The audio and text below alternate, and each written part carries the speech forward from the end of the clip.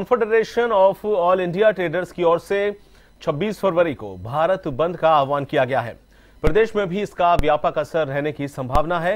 राजधानी जयपुर में सभी व्यापार संगठन इस बंद के समर्थन में एकजुट हो गए हैं।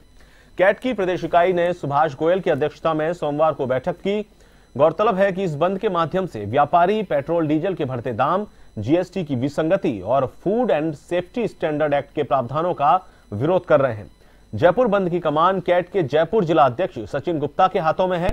सोमवार को जयपुर बंद को सफल बनाने की रणनीति पर चर्चा की गई। इस बंद को जयपुर व्यापार महासंघ, फोर्टी, राजस्थान खाद्य पदार्थ व्यापार महासंघ, राजस्थान दुकानदार महासंघ और ट्रांसपोर्टर्स एसोसिएशन के साथ कई संगठनों का समर्थन मिल रहा है। इन सभी व्यापारिक संगठनों की मंगलवार को चैम्बर भवन में संयुक्त बैठक होगी।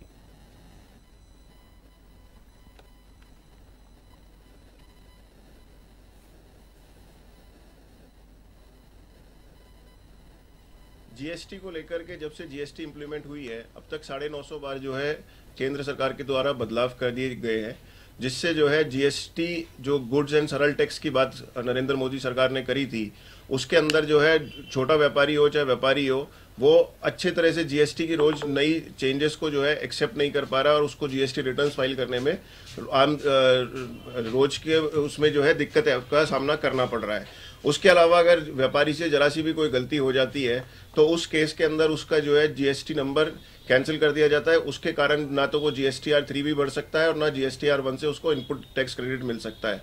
तो उससे व्यापारी की जो है इमेज पे जो है सबसे गहरा धब्बा पड़ता है। दूसरी परेशानी जो है जीएसटी को लेकर के कि सरकार जीएसटी टैक्स को जो है सरल करना चाह रही है, लेकिन सरल हो नहीं पा रहा है। तो दिन रोज की जो है दिक्कतों से व्यापारी इसमें बहुत तरह से परेशान हो चुका है। अब हम इसमें 26 तारीख को भारत बंद का हमने आह्वान किया है।